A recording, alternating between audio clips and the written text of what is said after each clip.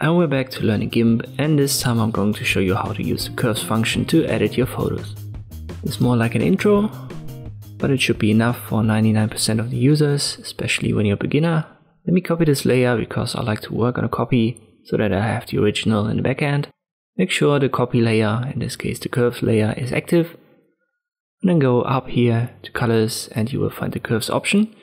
There are no presets by default, but you could add some. Click on the plus sign and then give them a name and they would appear on the presets. By default, it looks like this. And we want to work on value first and use the smooth curve type. You can change it from linear to logarithmic, stuff like this. But for beginners, I recommend just resetting it all. So click on this button and then you can start there. Don't use the freehand, it's a little bit more complex, as you can see right here. We'll switch to smooth and we set it once more. And this is where we start. You can see these two scales at the bottom and on the left hand side. And it goes from black to white. From left to right is black to white.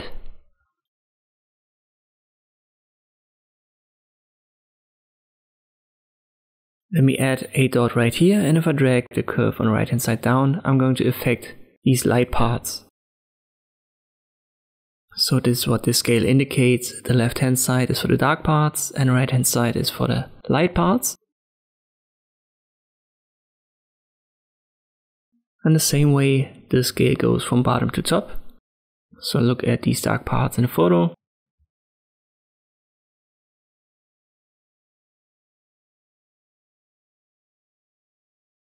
Let me add another dot right here with the left click.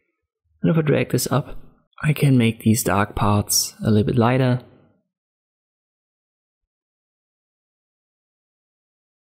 A good place to start is always an S-curve. So you drag this part, let's say at around 25% a little bit down, and at 75% you drag it a little bit upwards, so that you have this S shape for your entire value channel. And you can see if I toggle the preview on and off, that we have more contrast now, and it looks way better.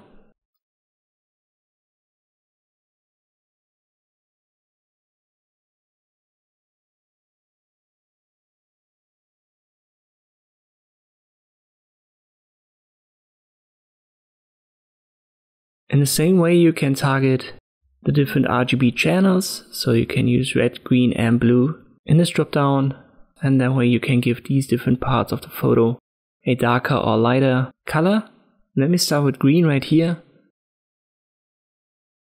And you can see if I drag it up on the left hand side, the darker parts, they get a lighter green. Let me adjust it a little bit like this.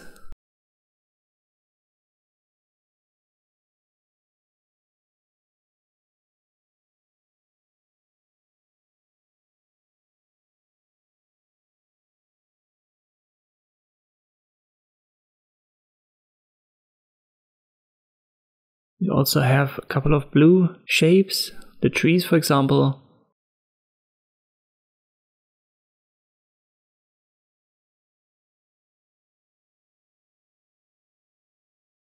And we pull it a little bit down for the darker parts.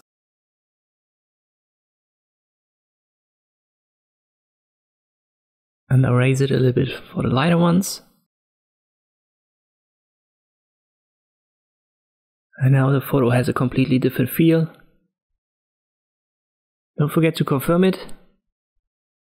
And you can see with this curves, you can edit your photos very quickly and you can completely change the feel of it. And this is how you can use the curves function to edit your photos in GIMP. I hope this video was helpful. Thank you for watching and I'll see you next time.